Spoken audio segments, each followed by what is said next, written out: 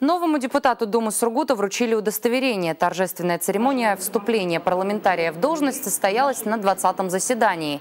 Напомню, Андрей Саликов участвовал в выборах по второму избирательному округу. Это так называемый микрорайон нефтяников.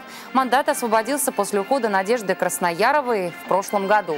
Саликову удалось набрать наибольшее количество голосов на доп. выборах в Думу седьмого созыва – около 45%. За него проголосовали свыше тысячи жителей из 2240 47, что пришли в единый день голосования на избирательные участки.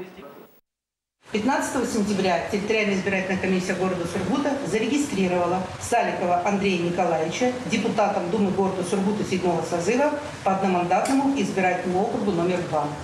Уважаемый Андрей Николаевич, в соответствии с статьей 29 Устава города Сургута с сегодняшнего дня вы наделяетесь полномочиями депутата Думы города Сургута.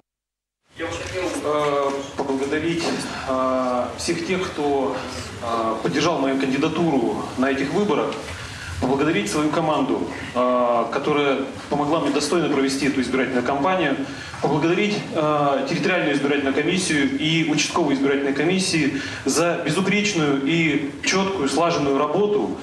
Готов приступить к обязанностям во благо города Сургута, жителей второго избирательного округа и Югры и России.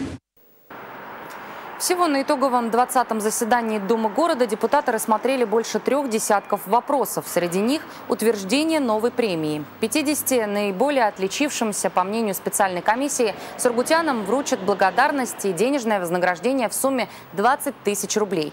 Поправили параметры казны города. Доходная часть бюджета превысила 40,5 миллиардов рублей, увеличившись на 620 миллионов.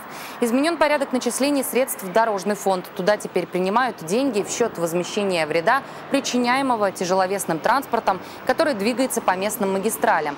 Также обсудили и обновили ряд социальных городских законов. Предложили, например, продлить практику приобретения за бюджетные деньги и выделения санаторно-курортных путевок по типу «Мать и дитя» для семей с детьми-инвалидами. Инициативу депутаты поддержали единогласно.